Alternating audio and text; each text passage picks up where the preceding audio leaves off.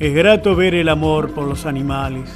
Aquí mi hija Stephanie, con su perrita Lisa, después de un lindo baño, una hermosa peinada.